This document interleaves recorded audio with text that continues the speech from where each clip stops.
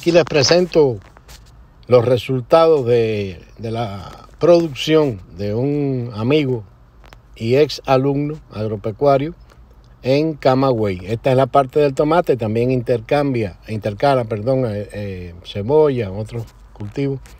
Aquí con el tomate de ensalada, de buena presencia y buena producción. También tiene sembrado el tomate Roma, que ellos le llaman botijón, que es muy bueno para la producción industrial por su, por su, por su cantidad de, masa que posee.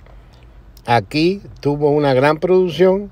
Miren ustedes, aquí pueden apreciar la cantidad de cajas de, tomate que, que eh, obtuvo y la aprovecha para hacer aquí en, en estas ollas grandes, hacer puré de tomate que es muy apreciado en la cocina cubana. Está bien maduro, entonces es que se utiliza para hacer el proceso de cocinado y toda la elaboración del puré.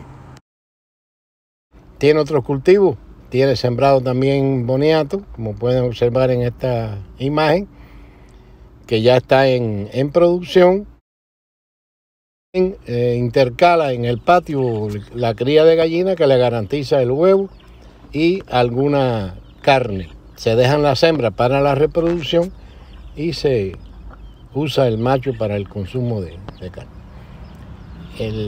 también tiene ya preparado para sembrar maíz esta área. Muchas gracias, compartan el video,